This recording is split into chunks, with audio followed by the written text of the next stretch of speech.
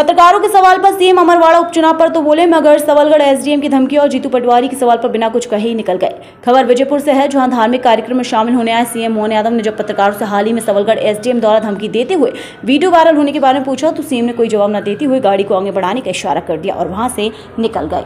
माननीय विधायक कमलेश शाह को बधाई, जिनने निर्वाचित होकर के भाजपा के अंदर जो अपना संकल्प लिया था कि विकास के लिए भाजपा का हाथ थामा है।